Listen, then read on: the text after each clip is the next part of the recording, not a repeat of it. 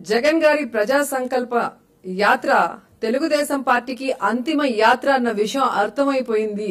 గాంధీ గారు దండియాత్ర చేసేటప్పుడు ఎలాగైతే బ్రిటిష్ వాళ్ళు భయపడ్డారో జగన్ గారు ఓదార్పు యాత్ర చేస్తుంటే సోనియా గాంధీ గారు ఎలా భయపడ్డారో ఈరోజు ప్రజా సంకల్ప పాదయాత్ర జగన్ గారు ప్రారంభిస్తారు అని చెప్పగానే నవంబర్ మొదటి వారం చలికాలం చలి దేశాలు తిరిగి వచ్చాడు ఏసీలో కూర్చున్నా కూడా ఆయనకి చెమటలు పడుతున్నాయి అంటే ఆయనకు అర్థమైంది కౌంట్ డౌన్ స్టార్ట్ అవబోతుంది అని.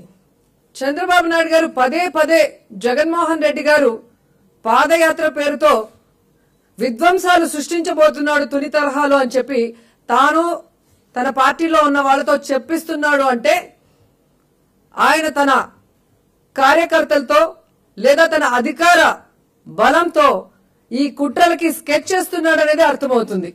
కుట్రలకి బ్రాండ్ అంబాసిడర్ ఎవరయ్యా అంటే చంద్రబాబు నాయుడు అని ఇట్టే చెప్పేయచ్చు.